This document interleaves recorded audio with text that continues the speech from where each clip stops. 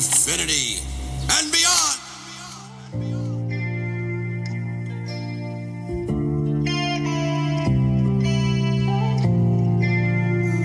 I count my blessings for the days when I was down and losing faith. They made me patient.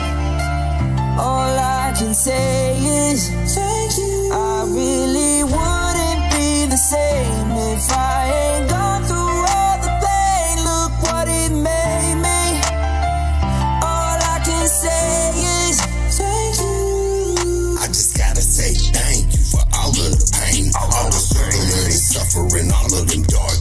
ain't go through hell just to feel the flames. Probably still be the same and probably they never changed. In turn, I'm thankful for all of my stressing, cause eventually all of my lessons turned into blessings. Thank God for all the trials and tribulations, cause without them I'd have never made it out my situation. Boy, I'm here to tell y'all, you reap what you sow. You gon' get what you give, you either grow or you go.